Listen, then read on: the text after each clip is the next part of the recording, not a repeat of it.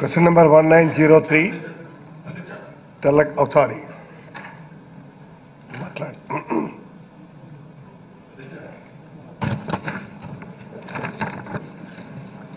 చరిత్ర పుట్టల అధ్యక్ష చరిత్ర ఉన్నంత వరకు.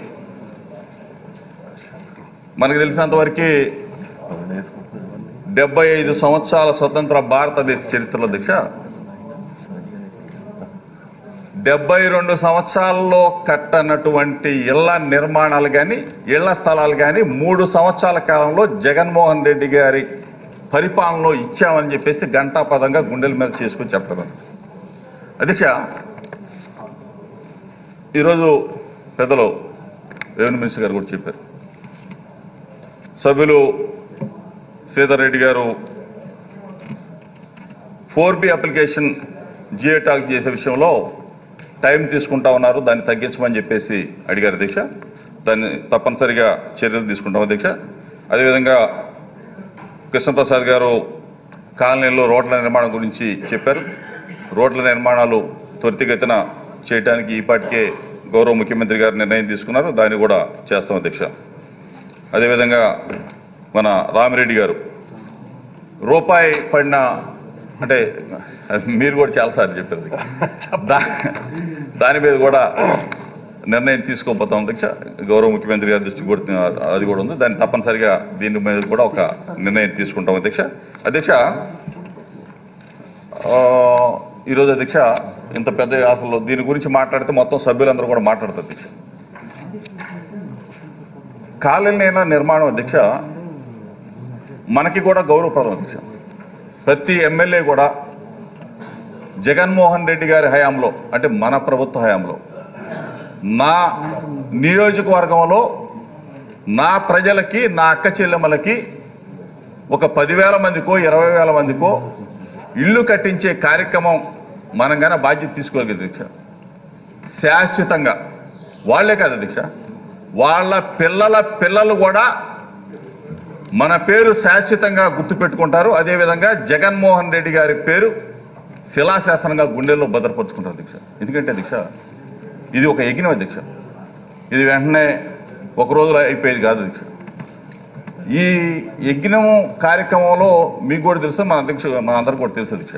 ఎన్ని అవరోధాలు అడ్డంకులు కోర్టులకు వెళ్ళటాలు కేసులు వేయటాలు పేదలకి ఇల్లు దక్కకూడదు ముప్పై లక్షల అరవై ఐదు వేల మందికి ఇళ్ళ స్థలాలు ఇవ్వకూడదు. ఇళ్ళ స్థలాలు ఇస్తే ఎక్కడ జగన్మోహన్ రెడ్డి గారి పేరు చిరస్థాయిగా మిగిలిపోద్దు అని చెప్పేసి కోర్టులకు వెళ్ళిన పరిస్థితి తెలుగుదేశం పార్టీ అదేవిధంగా నారా చంద్రబాబు నాయుడు నాయకత్వంలో కోర్టులకు వెళ్ళి ఇళ్ళ స్థలాలు ఇవ్వకుండా ఇళ్ళ నిర్మాణ ప్రగతి జరగకుండా అడ్డుకున్న పరిస్థితులు మనం చూసాం అధ్యక్ష. ఈ పరిస్థితుల దిశ ఈ మధ్యకాలంలో మనం చూస్తా ఉన్నాం దక్ష ఎక్కడో ఏదో ఎలక్షన్ జరిగినాయి అధ్యక్ష. ఆ ఎలక్షన్లో గుర్తు లేదు అధ్యక్ష పేరు లేదు అధ్యక్ష పార్టీ సింబల్ కూడా లేదు అధ్యక్ష. ఆ సింబల్ లేని ఎలక్షన్లో ఒక మూడు చోట్ల గెలిస్తే ఏదో సంబరాలు చేసుకున్నట్టు ఏదో ఆ పార్టీ ఏదో రాష్ట్రంలో వచ్చినట్టు తెగ కేరింతలు కొట్టారు అధ్యక్ష. నిన్న కూడా దీక్ష ఒక ఎన్నిక విషయంలో.